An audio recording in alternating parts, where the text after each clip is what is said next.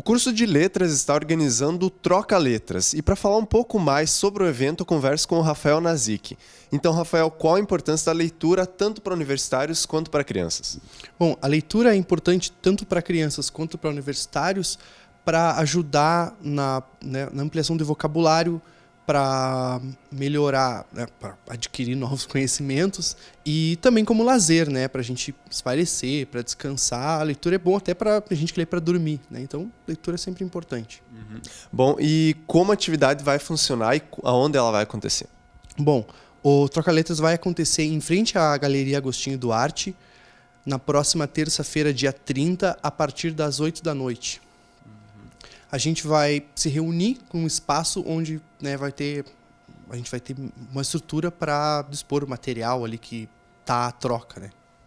Bom, quais são as obras que vão ser expostas ali para troca e qual, tem algum objetivo em específico isso?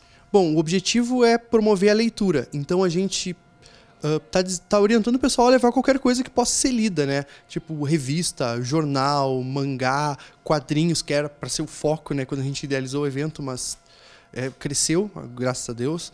E eu acredito que não tem restrições, assim. Eu acho que a única coisa que eu, quando as pessoas me perguntam, eu digo, pô, não leve jornal velho, que não adianta nada, né? Mas de resto, revistas, tudo que é tipo de publicação ou leitura, né?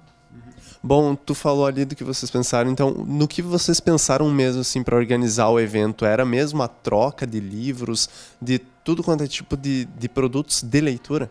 É, o escambo para produtos de leitura, né? E a gente quer futuramente também fazer algum tipo de evento para troca de outros tipos de coisa, mas quem sabe vira uma coisa mensal, cada mês com um tipo de coisa, iniciando com a leitura que a gente que é o que o curso de letras é, se identifica mais.